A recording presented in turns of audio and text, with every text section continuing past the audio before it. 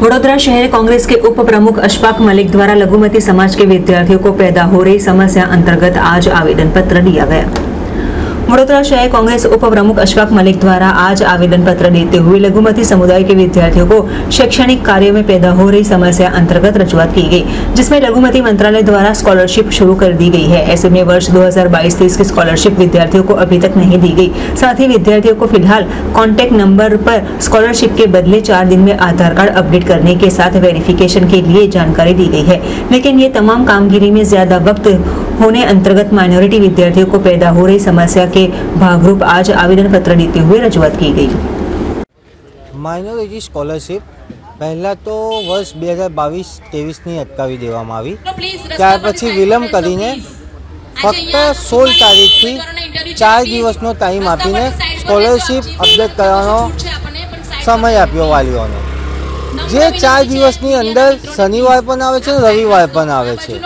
તે ચાર દિવસની અંદર વાલીઓના એમના છોકરાઓના આધાર કાર્ડ, બાયોમેટ્રિક અપડેટ કરાવવાના આવે.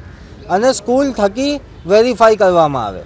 જેમાં કોઈ નોડલ ઓફિસર પણ હમણાં સુધી નીમવામાં નહીં આવ્યો. અને સારા સંચાલકોએ ડીઓએ જે મેસેજ આપ્યો છે તે ઇંગ્લિશમાં છે. જે વિદ્યા વિદ્યાર્થીઓના વાલીઓને ખબર નહીં પડતી.